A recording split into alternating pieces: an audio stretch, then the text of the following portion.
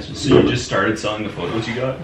Uh, no, so I got the uh, it's a Nikon D80, Okay. and my parents uh, like it was my dad's, and I got invited to work at somewhere, and then I started like the person I took pictures for. Mhm. Like I was just volunteering one day. They're like, we actually can't take these without paying you because we're gonna use them for promotion, and they're actually really good. Oh, okay. like we'd like to pay you buy the Oh. buy the rights to these images off you. I'm like, sweet. This is a piece of Craft eight megapixel D60 camera from 2007.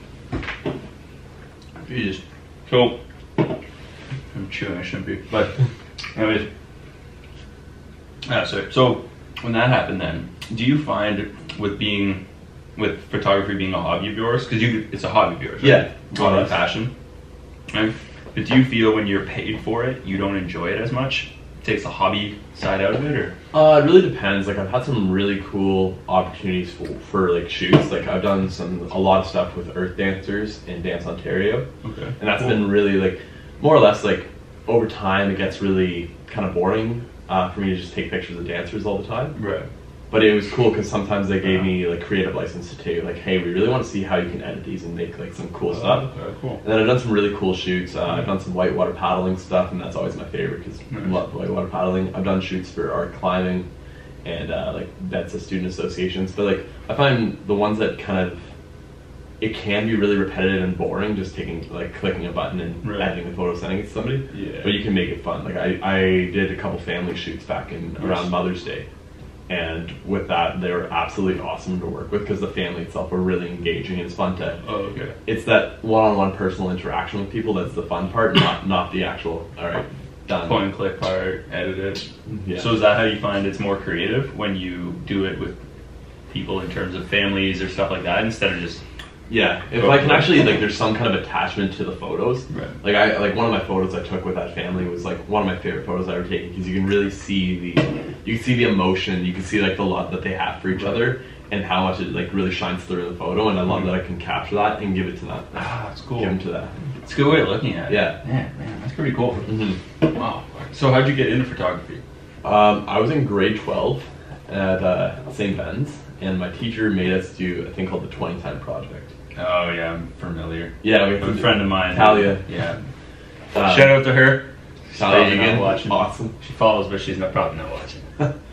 um, we had to do a um, uh, like twenty percent of our time, and I, I always was inspired by like National Geographic photographers and all this stuff. I'm like, my, and I knew my dad had a camera.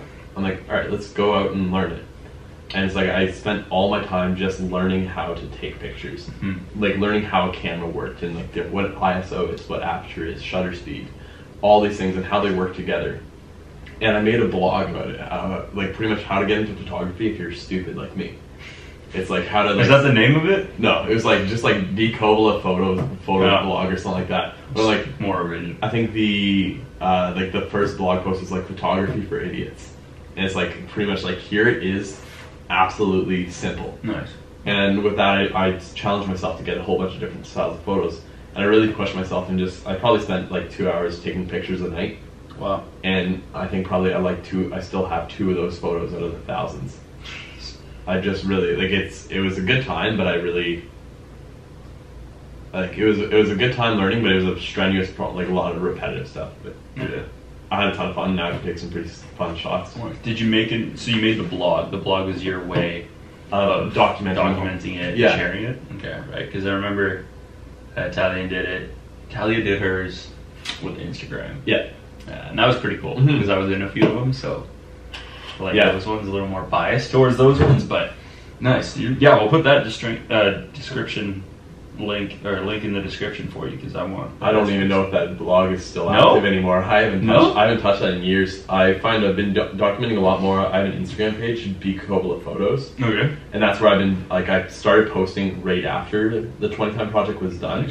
Once you learned it all and you could Yeah, and like I, I mastered it. it's really cool because I like looking back and seeing some of the photos I took when I just started out Right. to some of the photos I take now. It's like it's like I was I was always fascinated by nighttime shots of cars and stuff like that moving, and like how it like how light light works over the course of time. Right. And a lot of my photos at, at the start were just taking like uh, long exposures of cars and stars. Cool. and then now it's like I find a lot of them were like had a really orange hue to them and stuff like that. And now it's like I can make that perfect. Like I can go and take pictures of the stars, and it's really cool. Two and a half years later, seeing how much everything's changed. Do you have like a specific photo that you enjoy? Like, what's your favorite photo that you've ever captured? I've got a couple that I really like. Um, I've had. I got one of my friend uh, Eric at this summer camp I was working at, and it's him with his telescope. He's looking up at the stars, and it's like I set the camera right at grass level, so it's Mhm. below his back, Nice. and it was a beautiful starry night in Minden. Do you have the photo? I do. I yeah. want to see this. Um, Yeah. So you said in Maine. uh, in Minden. Oh, in Minden. Okay. Cool. Um, and we looked up at the stars, and it was just like it's him like that. Like that's the. Oh shit. Oh, that's pretty cool. Yeah. Damn. I get that's a pretty sweet shot. Yeah, I love taking pictures like that. It's a pretty sweet shot. And yeah, that was like one of my one of my favorites uh, series. And then this is probably my second one. I'm a really avid canoe tripper and working on that front. And then I got, Oh damn. I snagged this one on uh, Dewdney Lake, uh, just kind of like That's so cool. northeast of Sudbury. Damn. Oh man, because I want to show you. Um, a couple, actually, I'll show you mine from my account with my buddy. My buddy would take photos of me back when he was in Sudbury, and he's taken a few pretty sweet nighttime ones. Okay. Myself, so I'm just gonna find those real quick. Um, here's my favorite one that he took. That's a sick shot. Yeah, yeah. He's unreal with those ones. that's yeah, like that's like very much my style. Like oh shit, just that nighttime Yeah. like star long exposure stuff. that's pretty sweet. That was like I think that was like a, only a 15 seconds, and it was like not a very wide aperture. It was just showing how bright the bright the stars were. If I had it open for any longer, it would have just completely like. We were in a city that had like one traffic light and no like no city lights. So Oh, it's like perfect. it's like and there's No like light pollution. closest town was like Haliburton, which is 30k away. Yeah, and still there's like maybe 18 people there. Yeah, there's like no one in Haliburton. Just Minden. taxi drivers. It's just summer camp and cottages. Pretty much, yeah. It's cottage country. That's crazy, man. Uh, remind me after the show. I'll link you up with um, my buddy James because he's very like we'll we go on adventures together and shit. And then when we'd go on these adventures, he'd just be taking photos, and that's the similar style. Like, we were out till probably, as you can imagine, like you don't just go at 11 o'clock at night No. and take those photos. Actually, for me, the prime time to take star photos is between like 10:30 and ele- uh, 10:30 and like 11:30. That's in the earlier summer, just because the position. The, Right. The the moon drops down a little lower and then comes back up. I find if the moon's too high, you get too much ex- uh, bleed. So I, and you either got to go earlier in the night or late at night. Yeah, I think Like you got to go like at yeah. two or three. Yeah, we went at like 1.30 and then stayed like if you can go at like if you have the kind of that drive, you can get up at like maybe two, like three o'clock, four o'clock, and go up right at the end because then this, the moon's gone and the sun's about to come, so you get a bit of a hue to the sky. Yeah. That sounds pretty cool. Do you have any photos like that? Uh, not that I can think of on like I, I think I may have one or two um, like hiding around on my laptop. Hard part is with like long exposure, like nighttime Yeah. photography, is it just most of the time it doesn't work out the way you want it to. Because like you get a little bump in the tripod, the wind sets it off like slightly, and then you get a little bit of jiggle, and it's like as soon as you get that, it's like the stars like start to shake a bit. Mm-hmm. It's, it doesn't make it as nice of a photo. Cool. Man, I think you'd really get along with my buddy James, specifically in the photography aspect, because it sounds like your style of shooting is Yeah. similar to his, from what I'm. Yeah, that's what I'm. So, that's pretty cool, though. Wow. So, you mentioned for adventures and like trips you go on, you're in ADVL, right? Yeah, I'm third year outdoor adventure leadership. I'm also in teachers college with that. Shit. So how does that how does that work? The balance between the two. Um, so what's your week like typically? Yeah, so like the cool thing is Laurentian University offers a outdoor adventure leadership program, which is one of the best in North America, and it's uh, but it also has a, a concurrent education program, Mm-hmm. meaning so you can take a degree like um, you can take a degree like English, and while you're getting your English degree, you actually take a couple extra um, you take a couple extra courses a, like a semester. Like uh, during last year I had while I was taking my wilderness first aid and Mhm. uh, sorry wilderness first responder course and outdoor education uh, course, I was also taking a education and schooling course on Mhm. top of that, on top of the stuff that we need to take for, uh, since it's under the School of Human Kinetics, we have to take physiology, anatomy, and all that stuff. So a typical week would look like I have phys, anatomy, or whatever course it was that semester. Mhm. Generally, some spe- uh, specific outdoor courses. Like first semester was uh, I had to take uh, wilderness first response, which is a Sounds like a a long course. It was heavy course. it's a heavy course. It's an 80 hour certification course, and it's pretty much how to keep somebody alive for two days when they're uh, Two days? Two days, um, using whatever you can. And then I also take, but then on top of that, you have to take an educa- education courses. So uh, ideally, it's it's it's five years, and you get two separate bachelor's degrees. One of human, uh, one of uh, physical health and education, and one of them is in uh, just purely education. Nice. That's pretty cool. Yeah. Wow, so why did you choose this program? Honestly, for me, there was like no other choice. Like I, I applied for two programs, and I got into. Uh, I, applied for, I think it's outdoor recreation and parks over at Lakehead University in Thunder Bay. Got a killer, like offer to go there, and it was seemed like a good time. But Laurentian is their ADVL program is like Yeah, second. second to none. Like there's like maybe one university out in BC called Thompson Rivers that beats it Yeah.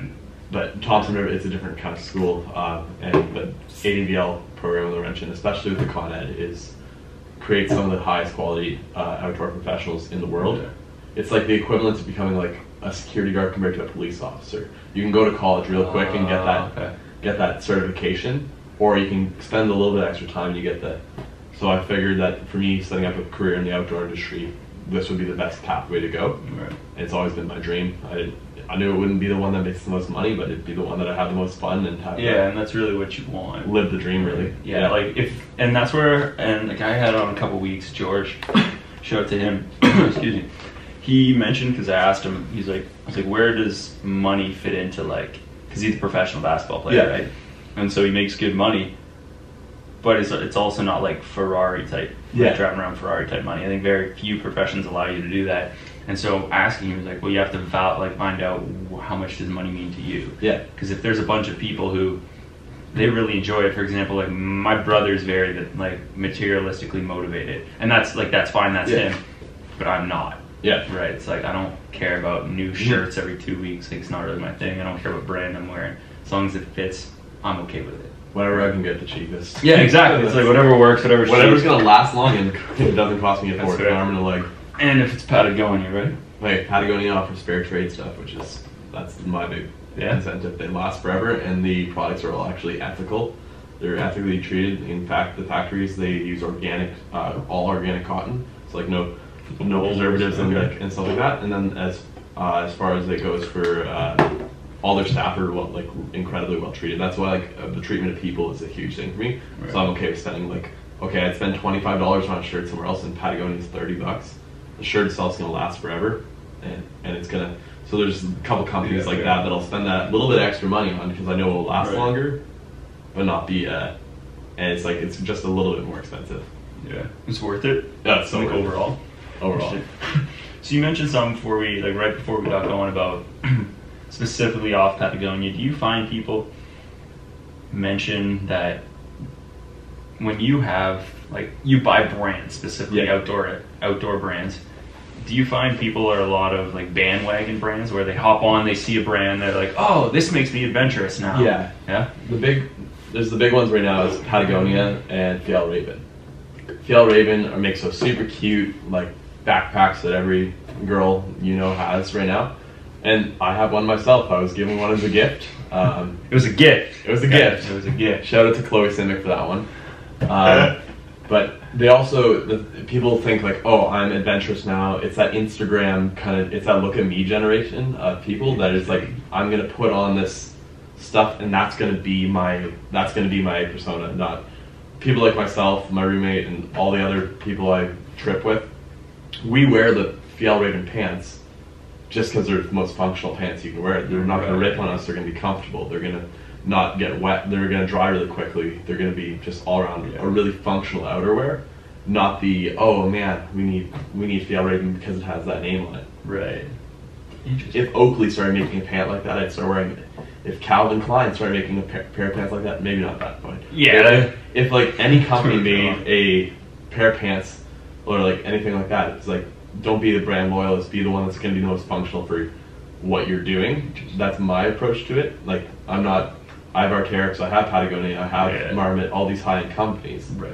but it's just for the fact that I need I need the quality out of it for what I'm doing. Right. And that's why the jackets are in the upwards of a couple- few hundred dollars. Yeah, like you can spend a thousand dollars on an Arc'teryx coat. I, I didn't get mine for that price. I got mine on on a really nice pro deal, but it's I, I have it and I ice climb with it. I rock climb. I Right. will drag metal stuff across it, um, and all, all that stuff, and it's never rips on me. It's never like it's because if I bought the cheaper coat, I'd need to buy four of those for the one of Right.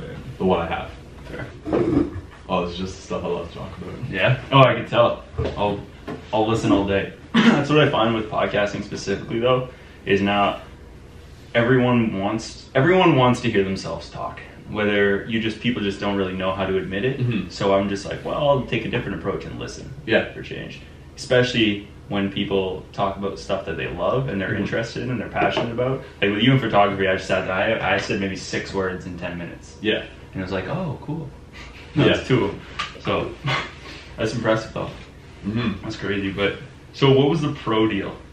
Uh, I, I worked in gear stores my whole life. Oh, okay. I've worked in gear stores, and then I'm also certified through Paddle Canada and a couple other different associations, CUI for challenge coursework, Right. and all these places offer uh, certain pro deals for staff. Oh, So like instead of a lot of people places, if you're working at a gear store, they're gonna want uh, the companies that sell their stuff want you to be wearing it. No retail worker making fourteen dollars an hour is gonna buy a nine hundred dollar coat. When they offer them that coat for 150 bucks, they'll be like, "Yeah, I'll take it." So you have an Arc'teryx jacket I paid about two hundred dollars for it. valued at what? Nine hundred and ninety dollars. Yo, eighty percent off. I would have never bought it. I, if, Uh, no. no. No, that's so. I, I, like I'd, I'd, I'd find whatever the next best thing was that was durable in my price point. Mm. That's incredible. Yeah. And you're like, sign me up. I'm like, yeah, sure, I'll take that. Easy. So you said you want to be a professional paddle guy. Um, yeah. So, in general, like I, I've always had kind of a dream of starting like a, a guide company out of Sudbury. cool. Um, Sudbury has 320 lakes in the city, and then right from outside of city limits is Temagami. Outside of there is French River, um, Spanish River, uh, all these. I don't know if I said Clarendon, but there's so many provincial parks and national areas, like really close proximity to Sudbury. Right. And we're doing uh, like the thing is, is there's not one dedicated guide company that I know that is solely devoted to Sudbury, which kind of sucks. We're hiring people from down south Right. So which ones are we currently, I guess, affiliated with?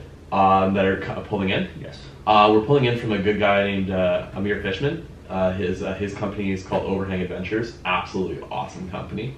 Uh, he's an ADVL grad, actually, really really cool guy. Cool. Um, and then we're pulling in like a whole bunch of like freelance people from out uh, down uh, south.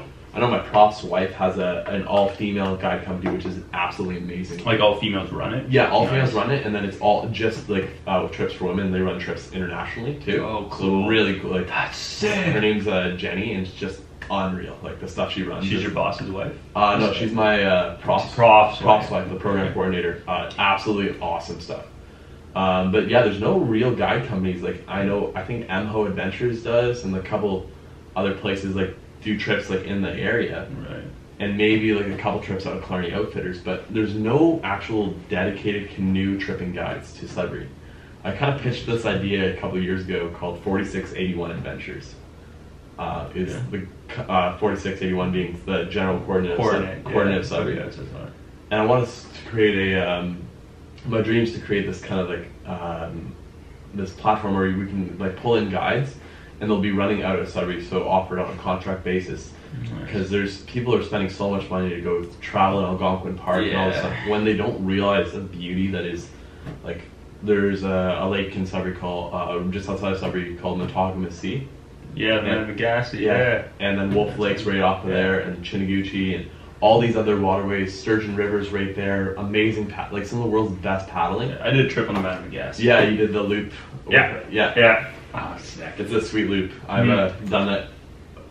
I think I've done that loop about nine times now, nine or ten times now. I've done about fifteen different trips to that area. Wow, it's a nice area though. It's so imagine you nice. like that. It's a, such a beautiful spot. So we have all these areas, but we don't have anybody that's guiding to them. Right. So we, it gives it doesn't give like the regular person the, like that opportunity to check it out. Mhm. And I love the idea of sharing by sharing this beautiful landscape with other Right. people. It's a good like it's passion. It sounds passion driven. Yeah. Specifically, so. So do you find? Do you want to do?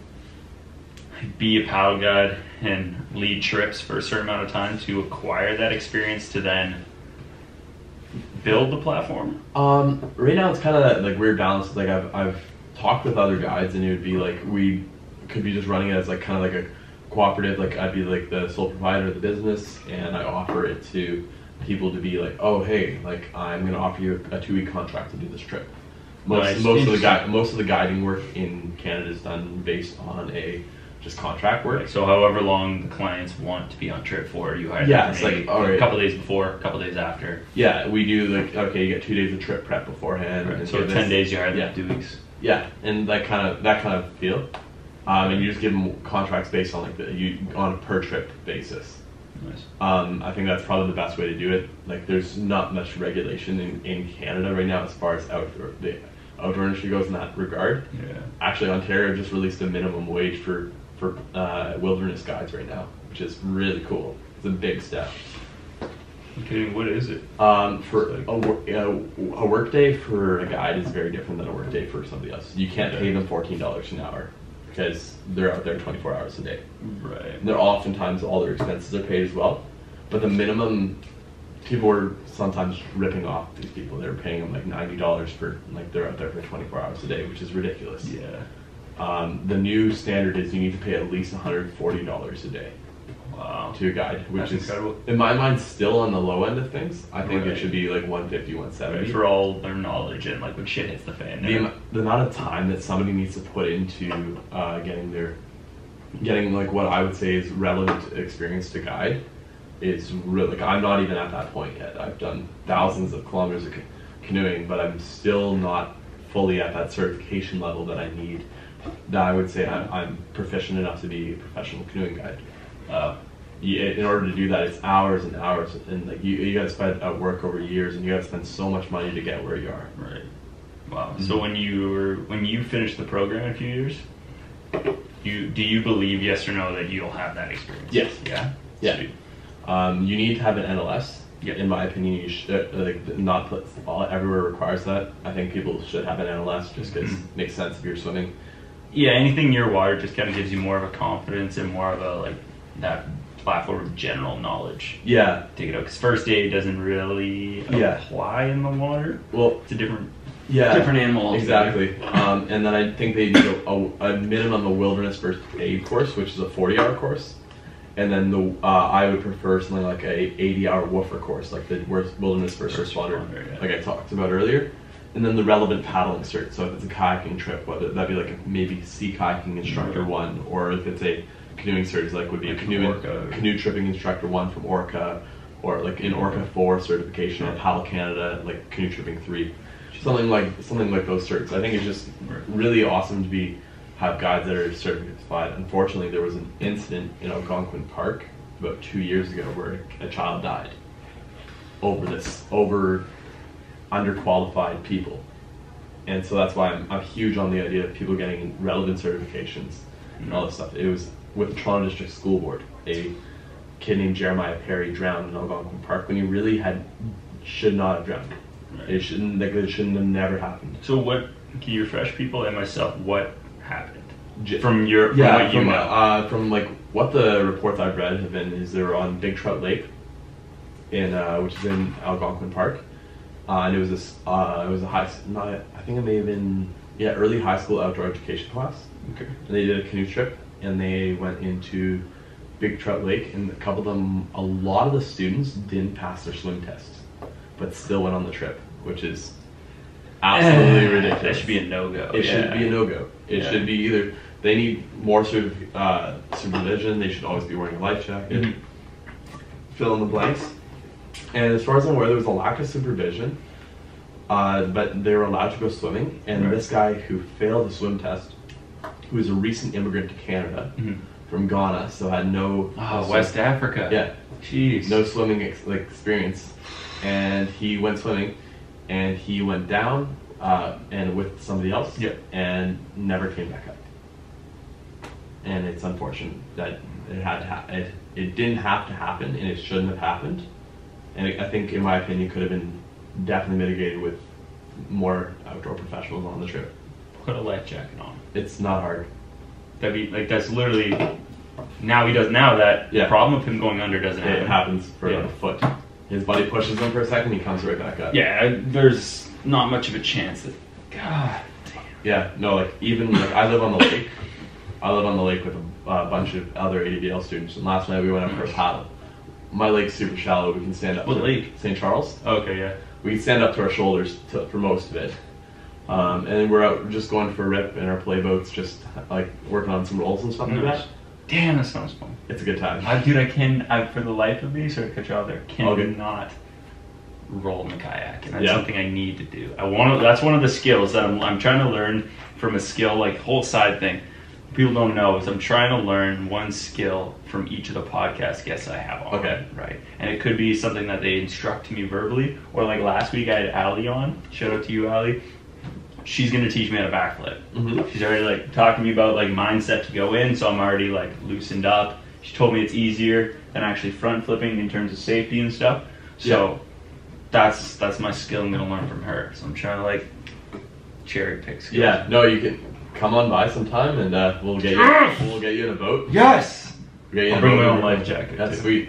No, it's like even we were just going for a quick, quick rip, and uh, we ended up uh, all I'm like, all right, everybody. Through. It, I didn't even need to say anything. I live with a bunch of people in ADL, and they all have their PFDs on, ready to Jeez. ready to go paddling, even though we're just going around the bay. Right.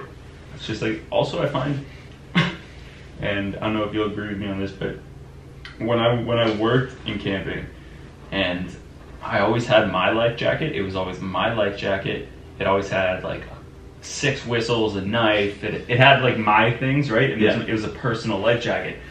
Do you relate when you guys like are probably all proud of your life I, jacket? my life jacket is you can kind of see it here. Um, it is Oh, my, my baby. It's Oh, uh, that's sick. I have an astral green jacket, just a plug, and it's like this.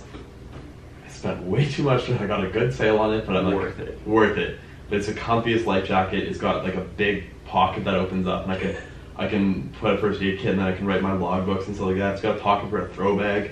It's a pullover life jacket. It has so many cool features to it. sick. You can rig up webbing to it, and then the belt axes a climbing. You can rappel off your heart. What? life jacket. Yeah, Stop. it's it's a, it's a really sick life jacket. Eighteen thousand dollar life jacket. It's like Totally. a good whitewater jacket starts like two hundred bucks, and they go to like four hundred bucks. And like I'm like people spend the money, and once we get them, it's like you're almost flexing your life jacket when you go to see Yeah. your buddies. It's like, oh, check this out. Right. You guys are just going to the beach. You're probably gonna be no no more than neck height, but you're like, Yeah. no, I'm gonna put my life jacket on. It's like yeah, might as Yeah, so it is a pride thing too. Oh, You're oh, it's I definitely a love my pride life jacket.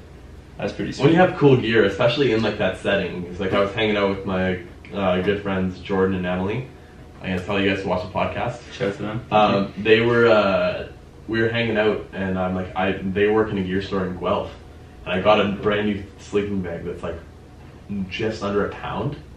And I'm like, check this out, and I threw it them. That that we're all geeking, geeking out over like how light my sleeping bag is. It's Ah, like it's wild. everybody likes to flex their like.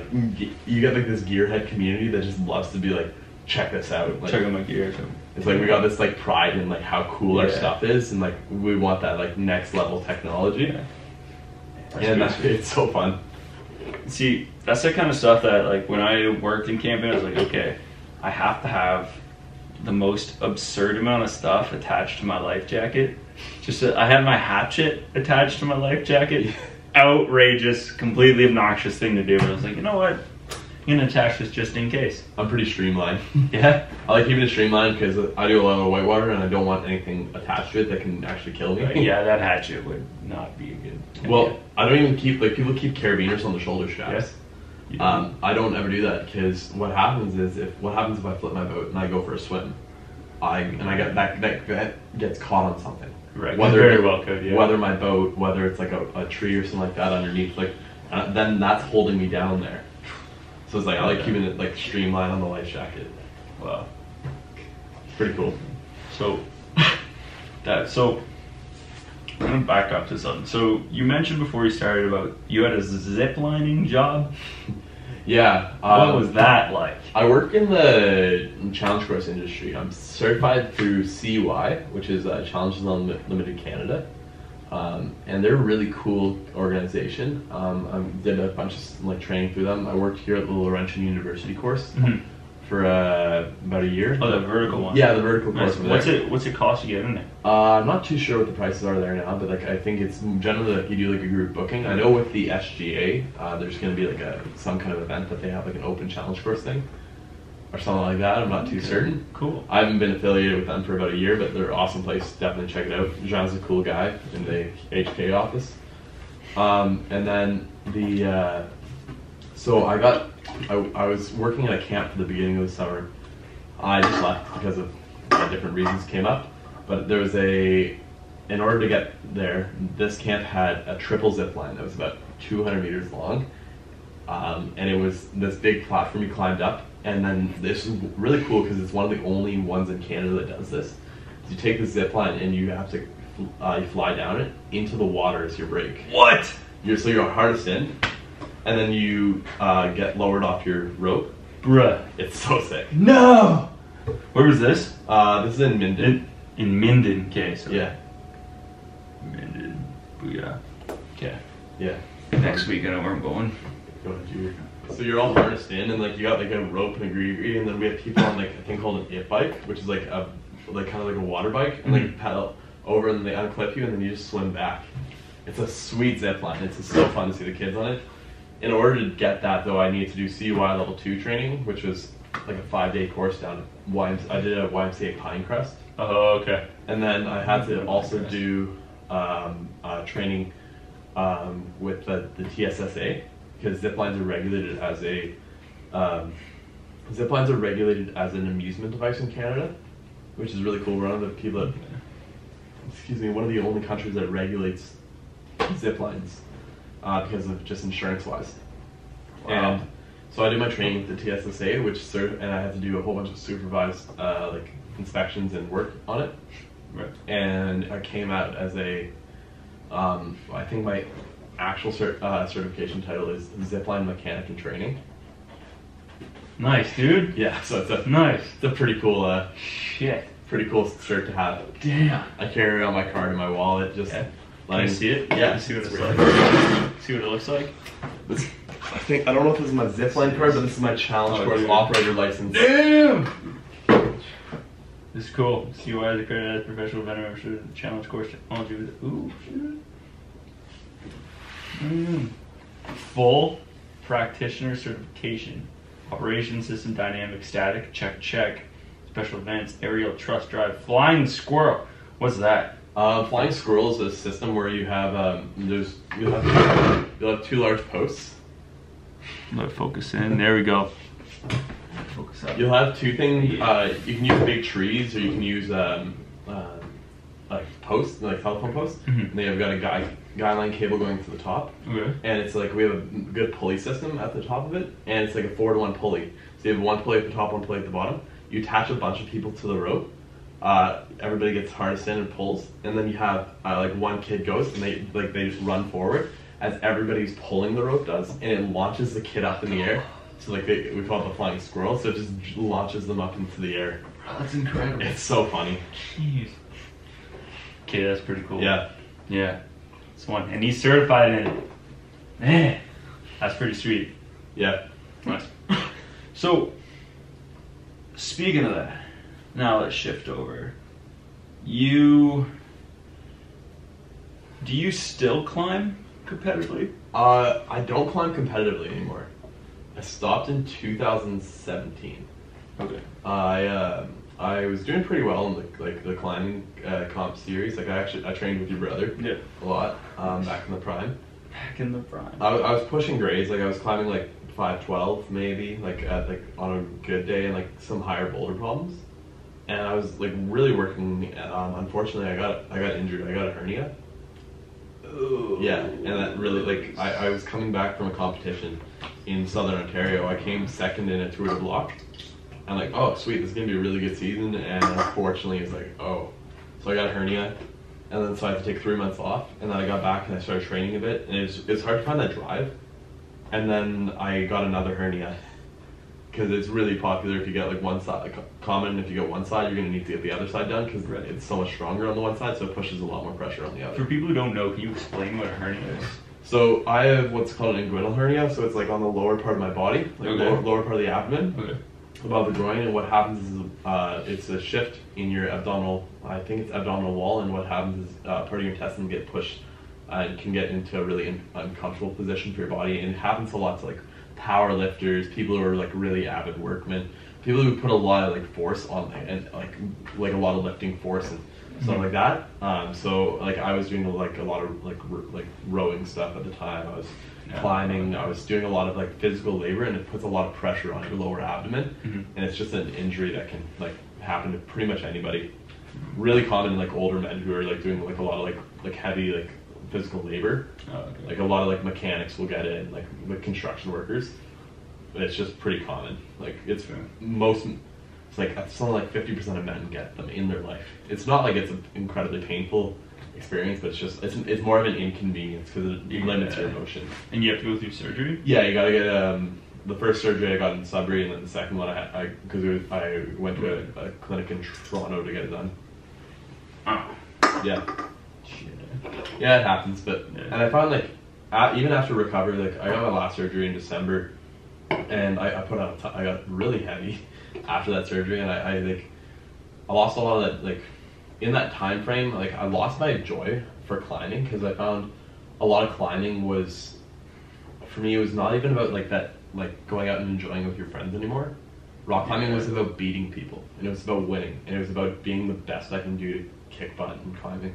I hated that aspect of it now Okay. because it's like it ruined the fun. It ruined the joy of I'm just gonna go have fun. It's like no, I need to go out and I need to climb the V8. Right. It's a project. I need to isolate myself on this one climb because I need to climb this grade.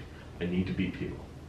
So I really kind of like lost that drive to go to the gym Mm-hmm. and climbing. And after my second surgery, man, like I, I just got I got super heavy. I went up to like 188. What? I'm a yeah, I'm a pretty small guy. Like I'm not. I'm like 5'10. what? I went up to 188. I've been, yeah. Because I, I was pretty much from the end of November Mhm. to like midway through January, all I could do was sit on the couch. Because I was like, I was just in, like, I either was like waiting for the hernia surgery or recovering from it. Right. And so I didn't want to move around. I couldn't be too active, couldn't ice climb, couldn't do anything like that. So it took a while for me to get back into the swing of things. Once I got active again, I, I really changed up my diet in the last like probably f- like six months to like a year. Like I changed my diet up like 150 percent. Right. Uh, I started being active again, and I'm bit like down like 168, 170, like at that range, or like that healthy range, and like. I've been going out climbing again and kind of getting that love back for just like that having a good time, taking people out, going Mhm. outside, and just enjoying the social aspect of it. Right. And it's no longer about that like I have to win. Yeah. That's frustrating. hmm Man. Hmm. Wow. Hernias are common, eh? Yeah, pretty Mhm. common. Most men will get them Yeah. at some point. I feel I'm I'm like inclined to get one at some point. That's as really- much as I don't want to. A lot of the guys in like their later forties will like generally like I was at the clinic. There was a couple other young guys, but like most of the men there were like thirty five plus. Women have women can get them too. It's just less likely. Right. hmm Interesting. Just Yeah. the way their bodies are. Yeah. Okay. hmm So we'll we'll stay on the climbing topic. You climbed Mont Blanc. Yeah. What the fuck was that like, man? Like, tell us how that kind of got started, to why you chose that specific climb, to everything you can about it. Because that's I Yeah. saw them like that looks pretty high. So It's not your average hike. no, it's no, it's uh not. Um, I uh I really like um, alpine sports. Like I love skiing. I love ice Yeah. climbing. Love all that kind of stuff. And I find that like I was like, all right, let's let's like think of an adventure. I had a family friend named James. He we call him the world's richest homeless person. He like would travel around taking teaching contracts in the world, but he never had a permanent residence for a while. So he lived with us during the summers. Right. James had been to Is that it? yeah Okay. he James would uh, go do uh, Like he'd take teaching contracts all around the world, Mhm. and he'd come live with us. school. And he he's been to like some like forty or fifty countries. Yeah, and like or s- even more than that. But he he said to me when I was like 11 years old, like I'll meet you wherever you want in the world. When uh, No when, kidding. when when you graduate high school, meet, uh, go on a trip and I'll meet you wherever you want. I'm like okay. Um, we were gonna go to Patagonia because I really wanted to go climbing down there. that South America? That's like the uh, tip of South America. Um, but I didn't really account for the fact that it would be the winter season and it'd be really hardcore to climb there. It'd be like cold. minus 40. it, like it's almost Antarctic temperatures because it's so close. No. Uh, I decided I decided against that one. Yeah. Um, Fair. and I was like, okay, where's a cool spot to go climbing? And like everything kind of pointed to Chamonix, France. Mhm. And there's a mountain there called Mont Blanc. Right. It borders France, Italy, and Switzerland. Yeah. Um, and I was like, okay, well, this this seems like a cool spot. I texted James. I'm like, hey, do you want to just travel Europe? I'm like, sure. And he says sure. And we decide. I'm like, all right, let's spend a. Yeah, it was fun. I just, Yeah, sure. He's like, sure, I'll meet you there. um, but I told him, I'm like, come ten days uh, like later, um, and we met ten days after. So I graduated high school. Like I finished my last exam on June uh, twenty seventh, two thousand seventeen Mhm. and I got on a plane June uh, thirtieth, and I flew to Fran- uh, I flew to Paris, then I flew to Switzerland. I took a bus to Chamonix, hung up there for a couple days. Wow. I was there for Canada 150. That was really cool. I, there was a little Canadian bar. Was there? Yeah, that I, like Wow, there's that's pretty. Canadian themed bar in Chamonix, and I, I, I was owned by some Canadian guy. They're celebrating Canada Day. That's wild. So you had a Uh, couple pints there. I'm Yeah, sure. hung out with them for a while. Um, went to the Arc'teryx Alpine Academy, which was like a, a week long thing they were running there. Yeah, it was pretty cool. Got to climb it, like you get some training from like some of the greats, like Ha- Hazel Findlay, uh, Will Gadd, like world renowned climbers, and got to like go to like these training like workshops that they were holding in the village. That's pretty cool. It was really really cool. Were um, those free or Absolutely free, yeah. No. Yeah, some of them would cost money to like go up. Like they had some was like, oh yeah, we're gonna uh, we're working on advanced backcountry skiing. Right. If you want to go, come, yeah, but you have to pay. You gotta pay like Okay. a bit to do, Makes go up the, the lifts and stuff right. like that. So But, like was, free, like online training. It's pretty put sweet. on by Arc'teryx, all of it. and, like they had a bouldering comp in the town, and they had like a hangboard competition. Oh, I didn't do well in the hangboard. I won the bouldering comp in my division, Nice, dude. but it was it was really cool. They had like a bunch of like stuff like that going on.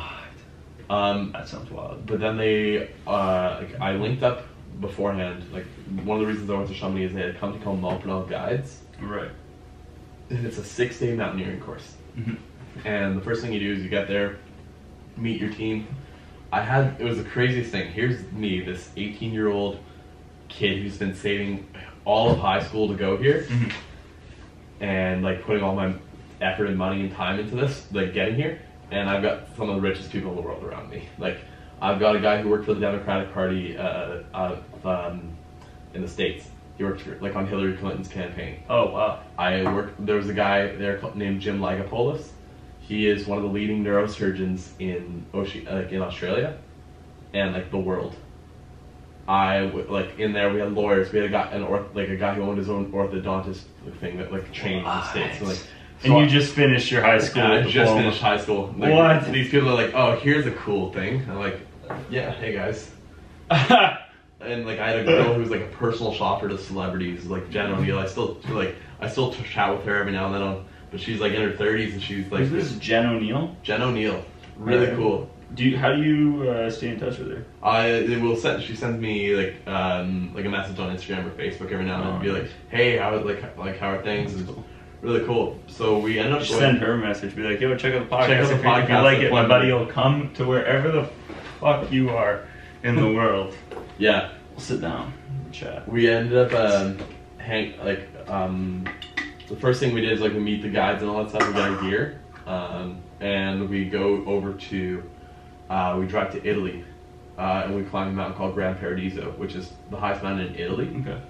It's about four thousand two hundred meters uh, above sea level. Okay. We climbed that in two days, Right. um, just so that we, we get used to the altitude. We come back down, Mhm. have drinks in the village, all that stuff, and then uh, spend the night in Chamonix village. And then we then it starts Mont Blanc. Um, a lot of my group members decided that they, uh, and at suggestion of the guides, that they weren't actually fit to climb. Okay. So they, they wouldn't just let anybody climb. So it actually ended up being that I got the, we had more guides than we needed, so everybody got their own personal guide. There was, um, and then some people joined last minute saying like, okay, I'm gonna try it. So there was me, um, with a guy named Neil, really really cool guy. He runs a, um, a guide company over there, but he works for Mont Blanc.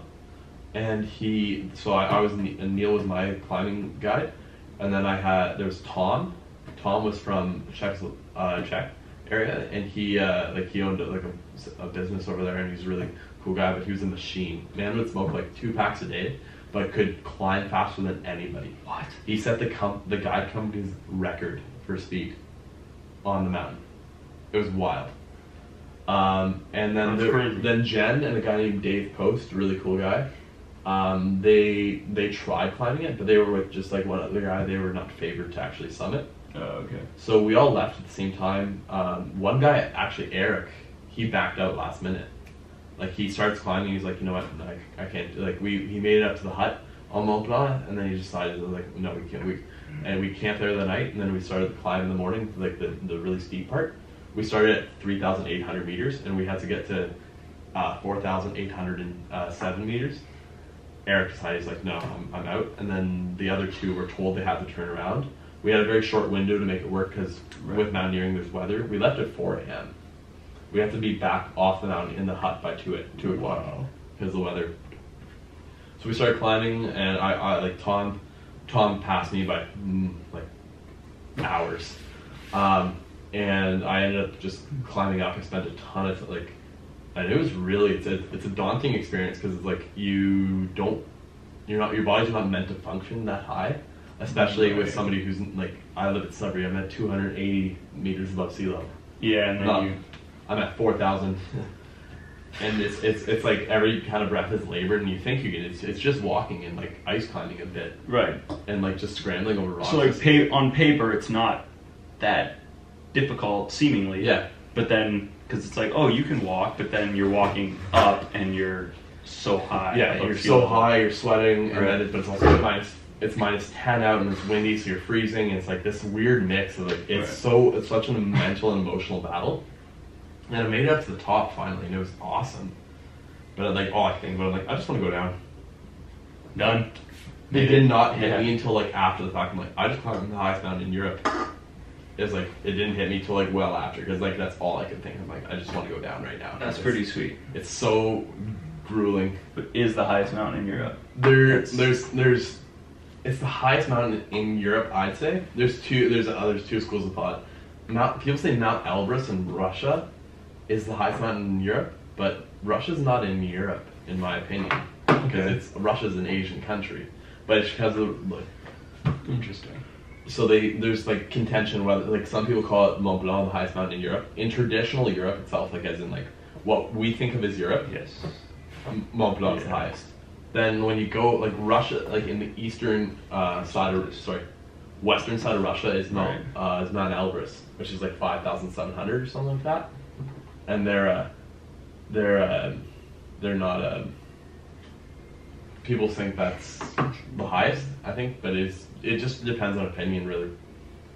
European Russia is the western part of the Russian Federation, which is part of Eastern Europe with popular. Yeah, yeah, okay. Um, yeah, okay. So I see what you mean. Yeah, It's like traditional Europe. Okay. Yeah, so interesting. people say continental Europe, like so, like what, like the actual continent of Europe, when not including Russia. But Russia's also a lot bigger than Europe as itself. Yeah, that's that's the point of contention on that one. It's like, is Russia is Elbrus? Because when people do seven summits, they'll either consider Mont Blanc or Mont, Mount El- Elbrus. hmm So How much higher is Mount Elbrus? Elbrus is about like twelve hundred meters higher, I think, a thousand meters higher. Which is, Okay. a, which is a big difference. It's a big difference when we're talking climbing a mountain Yeah. above sea level, not 1,200 meters as like a walk to the Oh, confectionery store. the thing is, think about walking down the road. Okay. Now just picture that completely vertical. That's the perspective. It's like that's Oh, twelve hundred yeah, meters. okay. Think about think about going uh, Yeah. just give or take like four times around the Laurentian track, but walking that straight as a ladder. Like that's that's the height. 1,200 meters up a ladder. Yeah. In the freezing cold. Yeah, Not being able to breathe too well. it, it's cool. Okay, yeah. yeah. Conditions wise, sounds that sounds insane. I posted a, uh photo recently asking like people like suggestions like where my next like trip should go. Yeah. I'm curious what yours is, but before I ask you, what have you ever thought of Everest Base Camp? Because that was one friend of mine commented. I was like, oh, that sounds sick. So I've got kind of like, I sound really pretentious and douchey when I talk about Everest. Okay, why's that? I don't think I, I would I would never go to Everest. Why's that? Everest is a tourist trap. Anybody with eighty thousand dollars can climb Everest. People don't like, I, and I'm saying like I'm not saying climbing Everest is easy, but there's, it's not. People say, "Oh, it's the hardest mountain in the world." No, it's not. No, It is just the the highest. highest mountain in the world. People there, I think this year there's like 450 summits, give or take, on Everest. There's about a five day window that you can climb Everest. hmm So you're waiting in line. There's a Jon Krakauer, a famous author. He wrote Into the Wild and Into Thin Air. Yeah, Yeah, so he was actually yeah, on I've read into thin air. Into Thin Air. So you're familiar with the disaster that happened on Everest. Yeah, the that's- movie. He took a picture Same. Of this lineup on the Hillary step of probably 200 people. Four people, I think, died standing in that line. I'd wait in line everywhere else in the world. The last place I want to wait in line is on a mountain. Yeah, it seems kind of silly. Everest has become this very commercialized Very idea, like silly. commercialized thing. There's Mhm. like 80,000 tons of trash on the mountain. There's this thing where it's like people pay their way up. You get summit fever, and people. I'm not worried about my own climbing ability failing me. I'm worried about somebody else's who's not experienced killing me. I'm not a very experienced climber, uh, in the grand scope of things. But even if I had that time and to devote to Everest, I don't think I would. Just because Everest is like, it seems really cool to stay on top of the world, but at what cost? Like, is it really worth it when you have this, like, when you've got Sherpa families who are dying for other people?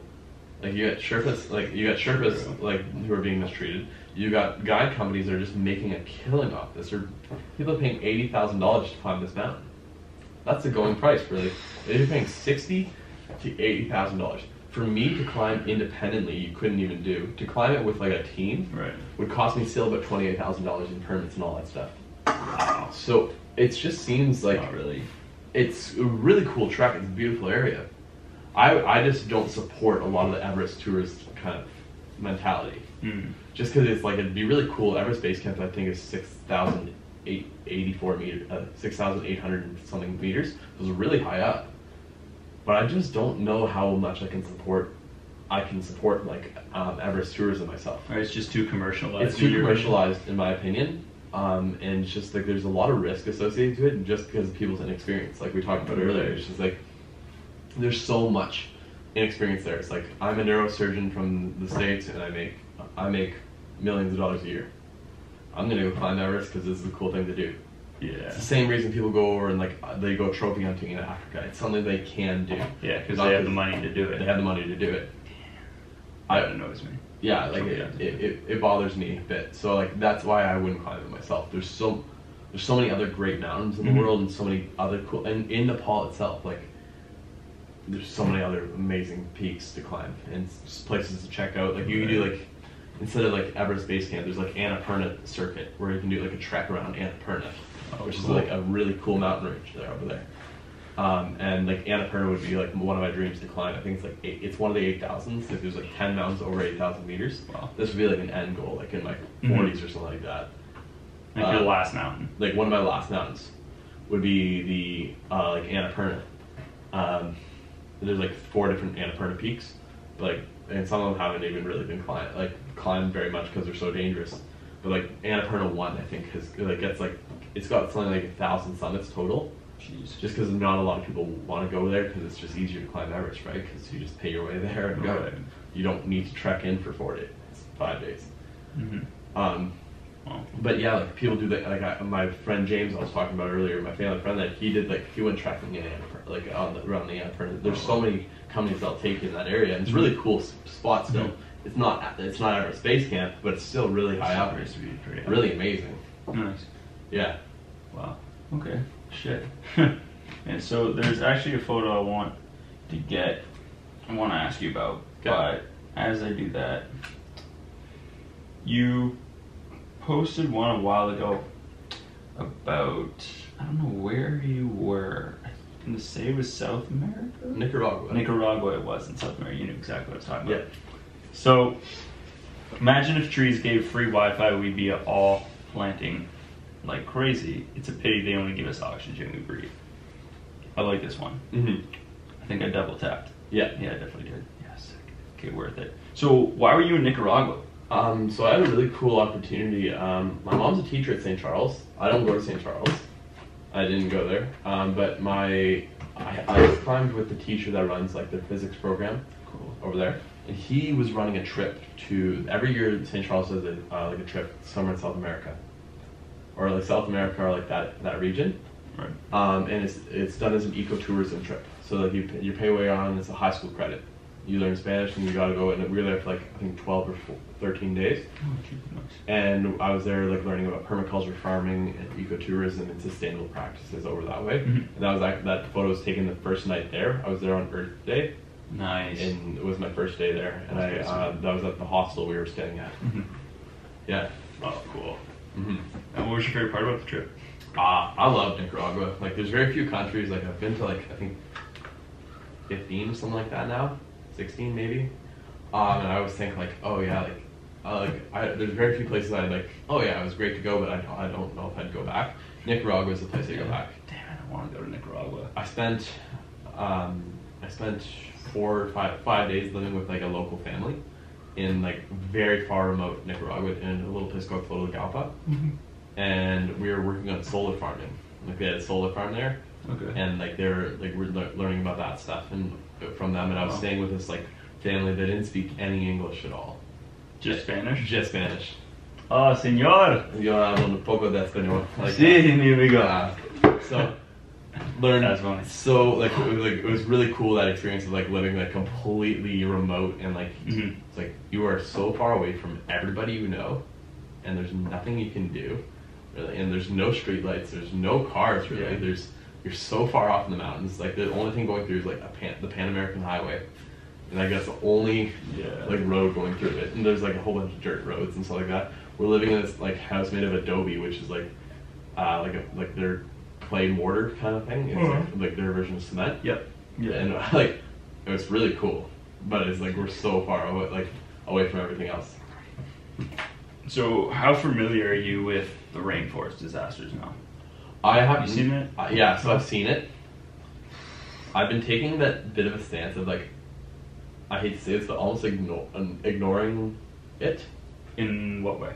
like I, I think it's a terrible thing that's going on down there the fact that there's a, like all this stuff but i find when it comes to social media like i when there's things like um, for example like notre dame or things like the abortion uh, issue a couple of mo- months ago stuff like that i really just kind of step away from All it these mainstream i step away from my phone topics. Okay. just because people get so agitated without being uh, without being educated And when you say agitated, do you mean people who are like, this is bullshit, I can't believe this is happening? Yeah, and knowing, like what are they doing? Or you know, like yeah, pe- people like that. So I, I, I tend to like try and distance myself from it because it's like unless I'm willing to educate myself about it and like spend the time and like that effort and like really kind of look at it from all angles, I don't want to be the one that's going to get upset about other people for not.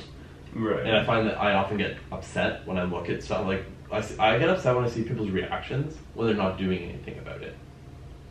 yeah. It's like, oh, I'm upset because the crowd's upset. I, I, I think that's a lot. Like, people would people. Sh- I think there's people who genuinely care about the rainforest and like genuinely like it's a terrible Yeah. like the burning and like, Hence why uh, I went and worked there for two weeks. Yeah, that's that's that's important part. Is people like that actually care about it, but then it's the people that are just like, oh, republished a story because it makes me that I'm involved. Interesting. That those people piss Yeah. me off. Like that that upsets me. Like the people that just republish just because it's like this is what's current. And now, here's the thing though, I'm going to counter your argument. Please do. So, because I posted a story about it, however, my intention, and I think what I try to do with this, and in these situations, this one specifically, most Yeah. less so, but stories I try to post because if you read the story specifically that I posted, not many people posted that. I, I did read yours. Yeah. It's an attempt to educate it Yeah. right? It's a hey, this post has this, or this is the guy who's working there in it. This is what he has to say about it. This is kind of because people want quick. They Yeah. want quick. They want fast. They want easy. It's that they don't want to do the research themselves. Yeah. Right. So if they don't want to do that research themselves, and I've already done enough about re- enough research about it where I can, f- I can channel something, or I can I can weigh my opinion in. But since I'm not going to, I'll let someone else kind of educate people quickly. Yeah. And the guy was in the rainforest. Yeah. In the post. And so I'm like, okay, he's there. Right behind him, you see the issue. People don't know. They just hear rainforest on fire, and then they, everyone blows their minds. But they don't visualize it. They just blow it out of proportion, and Yeah. they want that quick, easy explanation, but they don't want to research it. It's Yeah. like, here's everything you want, but won't do. Look into what this guy's talking about. I, I would, yeah, I'd support something like that hundred percent. It's like more of that, like people like. I forgot. Like, there's people like memes and stuff like that. Like not like memes but about it, but like, Yeah. or people like just like uh, like oh like. Like no one cares about this. Like, uh, like, like when Notre Dame, like stop. You know, it's a, it's a, it's a wildfire Right. in the building. It's It's no, like- it's not Notre Dame. This is a different thing. This is Yeah. a- like, stop comparing the two. Like, don't please don't compare them. They both are their own entity Different. that both sucked. Yeah. and sucks when they happen. But the thing with all that, excuse me, is a lot of people don't. They don't want to educate themselves, but Yeah. they still want to be their opinions to be heard. Yeah. You know it's okay to not say something about it, which is why like your approach where you're like, I'm just gonna go off my phone because social media does that to me, and you're aware of it. It's something that people don't. We don't realize as as a society that's very harming Yeah. it's harmful, sorry. And it's very, very. It scares me. It, yeah, It scares me. I, I would agree. Over It's just this is like this like I need to be heard. It's like I want people to be educated, and just because you don't have an opinion about something, it's okay to say you don't Yeah. like to not contribute. That's fine. There's that's what one thing specifically with some. There was a couple like female friends I had a while ago, and there's like you don't have to always put your input into things. Yeah, It's like oh no, look at me. It's like oh, I did this post when it came to Notre Dame because I was so tired of it. have you been to the Notre Dame? Yeah, I was there. Oh, Like, me too. that's the- Nice. Unpopular opinion: people posting pictures of Notre Dame saying they're sad are just flexing that they've been to Paris. It's funny. That's pretty funny. Also, Pete, this pic I took in Paris because I'm. That's I found what a lot of the Notre Dame thing was. Is people are talking about it like it's their grandfather dying. it's like, yo, I've been to Paris too, but I didn't yeah, post about it. that that was I found a lot of the what like there's two sides of the Notre Dame thing. Both both got me upset for some reason, and so I chose to back away with this. Good point. is there's the the side that says I'm upset because it's the um, because Notre Dame burned down, Mhm. and then there's the upset people who are upset because somebody donated money to rebuild it. People are like, oh, spend money on the environment. It's like this guy just this guy spent a lot of his money because he likes this. When to realize it, there wasn't a lot of people that don't. It's not like this mass donation pool. It was like there's people billionaires donated to this. Yeah, and they donate a couple million dollars. Yeah, it's, it's- like five people donate Five thousand dollars. Or five million dollars. It's like- five million dollars.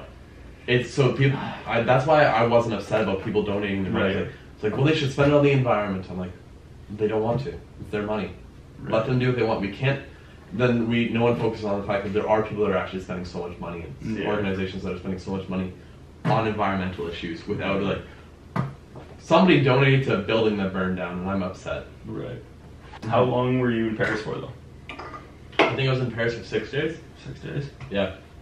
Just did like um I was over there with James and we did like after leaving Chamonix, like we just went like on a tour like a whole bunch of other like European countries. Like I did like went to like it was fun because I did like I had a Euro pass so I could just hop on the train whenever I wanted. That's sweet. So like I did Nice. one day where I had breakfast in Rome, lunch in Florence, and dinner in Venice. It was the coolest day.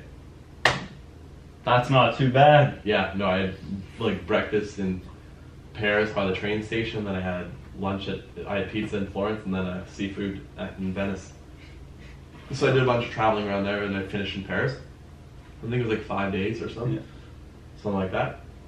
And I, we bought a scooter, and we each bought scooters in Berlin from some toy store, and just used those to get around. Like little scooters. Oh, like yeah, just like oh, like full- like like kick scooters and kick, kick scooters. So I used Oh, that with hilarious. my big Osprey backpack and just I covered so much distance in Europe. dude. hilarious. Buddy and I did. Uh, we rented longboards and we were in Budapest and Barcelona. Okay. And I think next time I go on any of those trips, I want a longboard. Yeah. 'Cause, dude, like you said with It's scooters, so very- much distance. Exact same thing. It's like you cover so much distance. You do two little foot pushes, Yeah. and then just No, we, like I ended up. There's a a climbing gym in Berlin. That's uh, sorry, in- yeah, it's Berlin. And I wanted to just train a bit, um, um, and just climb while I was over there. And so I traveled. Like I took an Uber there, and I'm like, right, I brought my scooter with me. and I just scootered home.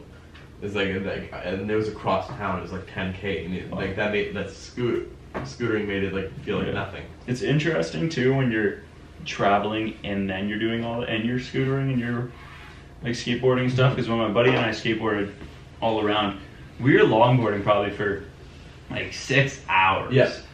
And we were like, you know, once we have water, we're fine. And then we're just like, man, you know, this isn't too bad. But if I were to do something at that speed, for like if I were to run for like that Oh, speed done. for six hours, I'd be like, not a chance, man. Absolutely not. Oh, it was bad, but like uh, the first couple of weeks we walked um like first of the trip like i was i was in rome and i think i like have it on my like health app It's like i did like walked something like 40 something kilometers that day like we got up at like 7 and i didn't stop walking till like 11 o'clock we saw everything by foot in europe Wow. spanish steps colosseum hand of truth all this stuff we just walked across all of europe and the vatican and just to all, all throughout Rome just to see Wow. this. It was crazy. Like 40 kilometers of walking Yeah. a day. like forty thousand Oh, steps. man. It's like oh man, just incredible. And, and we kept doing that and did the same thing in Venice. But it's like man, we get to Munich and I'm just like walking down the road, like, like hanging out. We were we were at the sports store. I was checking out some climbing gear, and James like James is in his forties. And he's a great guy. Stood in his wedding a couple weeks back, and it was Nice, like dude. awesome.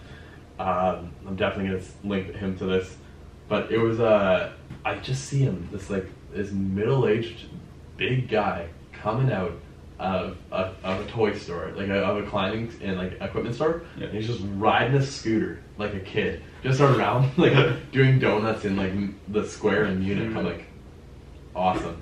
That's that's it. Yeah. Sounds like no G. Yeah, and then I, I was like, no, I'm not gonna buy a scooter. That's stupid. Three days later, we're in Berlin. I'm like, I need a scooter. All right. Hey, uh, James, I'm gonna I'm gonna dip out. I'm gonna go to. Toys R Us for a minute. was there Toys R Us? There was a Toys R Us that I bought my scooter at. That's not too bad. It was good. Did they have longboards and stuff, or where in Sudbury could I get a longboard? In Sudbury? Because it probably sucked to ride them in here, but I'm sure they're Yeah, I, I'm not too sure. I've, I've never like I don't scooter much. I don't like longboard much, like at all. Um, I don't know, like maybe store like Zumiez in the mall. I don't, I don't know if Sessions does like uh, Yeah, like Sessions true. Ride Company. Right. They might have something. I think they have scooters. I could ask my buddy John, because my buddy John runs sessions. Okay. Yeah, he trains jiu-jitsu with me. Oh, sweet. So That's something I want to get into myself. Yeah, Yeah. jiu-jitsu. I've been looking at getting into Brazilian Jiu Jitsu. Dude, if you're gonna try anywhere, and this is my plug, this is where I'm gonna plug the the family, the familia. Train at Troop. hmm I'm That's what been looking at. I'm 100% biased, but I'm also 100% have a reason to be biased. Between the quality of instructors to the level of like intensity that we all train at to the variety of skills and different like weights that you have. Yeah. Like it's not just a bunch of big guys who are all purple belts. It's there's a bunch of white belts, a bunch of blue belts, and they're all good. They've all been doing it for a while. They all have that experience Cool. and stuff. And then Professor Monkey is like I can only say the best things about him. It's like the smartest guy. He's a brick shithouse. Like he's insane. He's Sweet. smart guy, everything. Like I'm looking forward to him coming back in the gym because he just uh, fought at Worlds. so Yeah, no, yeah, I'm- train at Troop. You'll love the people. You'll love the level of intensity. I know my buddy Rogan's been going Yeah. going there and he he's been loving it. So like I think that's where I'm gonna like when I decide whether I want to get into it or not and like check check it out there. I know they have like a I don't know if it's a free week or a free day, whatever it is. They have free like free something just to get your foot in the door and see what it's like. So Yeah, no, Yeah. I'm, I'm definitely hoping to check that out soon. nice. That's a I've been watching a lot of like I had an ex girlfriend who like their like her brother used to host like MMA nights whenever there was a fight night at their house and I would go over for every fight night. Uh, like I, I just really got into like watching MMA, and UFC. Yeah, So I, lot of lo- fun. I love it. And it's like oh, I don't care how violent it is. Like it's I, it's awesome to watch. I find if you learn Brazilian Jiu Jitsu, UFC fights get turned up a lot more Yeah. in terms of interest. Like, I'm a lot more interested in a fight now that I have the very basic understanding of what's going on on the ground and what to look for. That's not just, oh, one guy's really good wrestler, one guy's really good boxer, let's see what happens. It's like, if they go to the ground, let's, like, you, you have an, as they- much of an understanding, it's not just one dimensional. It's like whoever gets hit more Yeah. like loses. It's like no, but Yeah. now you get to see more technical, and you're looking at it, and you're enjoying a lot like more of the fights and everything. So Yeah, no, that I find like as I've been like I've been doing a lot more research into it and just watching all that stuff, and that's the cool part is like noticing like as I research it more, it's like I appreciate like I was watching a, a Khabib a Khabib fight a couple of well, like, Khabib. I'm like man awesome yeah, dude, he's he smashes. he's a oh, man, crazy but it's like just watching him on the ground it's like as soon as he like It's terrifying. all like with the McGregor fight it's like all he all Khabib needed to do was get McGregor on the ground cause, that's it though. and that was it I'm like it was so cool to watch It's terrifying that that's he does that with every single person he fights. He does it against everyone from amateurs in his beginning, not amateurs, but like not as high class at, in Mhm. the beginning to world champions. He's just gonna pick them up right on them, 25 punch them in oh. the face. Yeah, it's like so. I know a bunch of us probably watching that fight on um, whatever comes out. I think it's in September. I know it's in Abu Dhabi, but I don't know what the, the next day. Probably September fifth, seventh. Seventh would make sense yeah I'm not sure. I think I mean Yeah, I think it's the seventh. Yeah. Okay. That's pretty sweet. No, yeah. I'm I'm, I'm excited to watch that. Gonna get the pay per view there. Try it out and let me know if you do. Yeah. And you, on the day you go, so then I'll be there. And it's Sounds good. yeah, great bunch of bunch of people. I have only good things to say. Yeah. So I lucked out too because when I asked my buddy, I was like, "Yo, like Steph, like where'd you train? Like where should I train? Like I'm looking, I'm moving to Sudbury now. Like where could I? Where would you recommend training?" He's like, "I train at Troop." I was like, yeah, "Okay." Sweet. And then just Yeah, a no. year all- later. all, I've heard is good things from like Yeah. different like.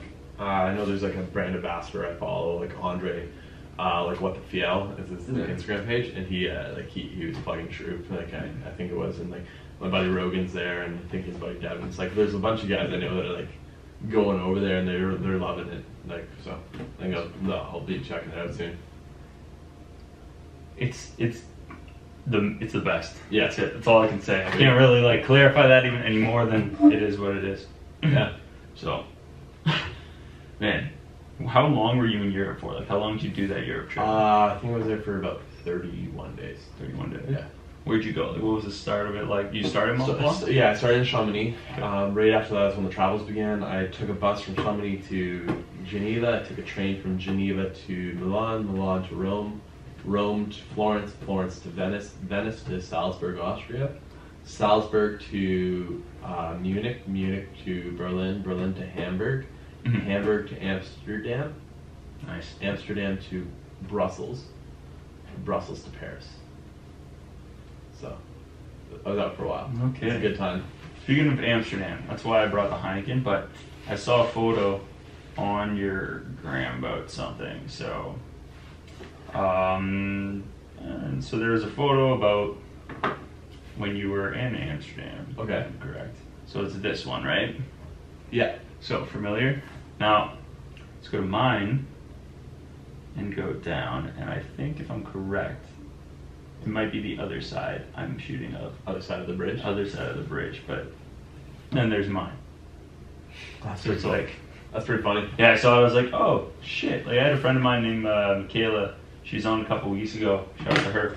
She, um, I posted a photo of Monaco Okay. right when I was there, um, and then she sent me a message on Facebook, and she had turns out that she was just in that city where I was, Yeah. like the exact same place, and took a photo and sent me the photo. She's like, "Yo, I was just here. It's crazy." Like, Shit. That's sick. Where do you find though that like, what's sir? Where do you find traveling fits into like life? Like, where do you think is the best time to go? Because I find when you're young, you don't have money to do Whatever you can. older- Like I don't think there's any perfect time. I think it's gonna be really subjective. Like there's the guys who work nine to five every week and like six days a week. they're not going to have the time. There's Right. guys like me who have a very kind of open schedule, who work a lot when they can. but They're in in those free times. I'm doing short trips like around around Ontario, um, stuff like that. I think the perfect time to travel is really when you have time for it. I like I worked at Ramakko's for years, and a lot of what my job was is I was selling people backpacking stuff. Mm-hmm. And I was selling people stuff to go to Europe. And Oh, people oftentimes were, I had people of all ages coming in. I thought that was awesome. It's like I had people who were really young going with their parents. I had people who were like, and that's one of the things I'm very grateful for. Growing up, my family did a lot of like, a lot of my traveling has been done with my family. Mm-hmm. Like when I was young, like I don't know how many countries it was, but like I've been to like something like twelve different like little islands in the Caribbean. Like through, like, Wow. I did a cruise when I was like eight, and then I've done like extra traveling like in that area with my family and Mm. all like and the states with my family and just Yeah. different things like that. And like I've gone to BC with my dad and like all those times. I think that's awesome. Like get like so I, I even like even though I was young, like I had I can still remember that people are like Right. I hear people saying like, "Oh, I shouldn't take my kids traveling because like, I because they're not gonna remember it." No, I think that's absolutely like It's a silly. bad idea because no, like they're gonna remember it. Right. I think it's an awesome idea to take your kids traveling. They're gonna learn a lot more there than they're gonna learn like. Well, I don't want them to miss school. They're gonna learn a lot more out there. Yeah. I don't remember anything I learned in. I remember catching up when I was in grade two because I Mhm. missed uh, like a week. I remember doing the catch up work. I don't remember anything that I learned during. I remember doing the work. I don't remember any of the work, but I remember that trip. Right. I remember that trip really well. I went to Finland with my grandfather. and That was awesome. Oh, Like when I was a kid, like and all these really amazing experiences. So I really think like, and I look at this like my dad was in his 40s when I went to Finland with him, and my and his dad who was in his 80s, um, and I was I was 12.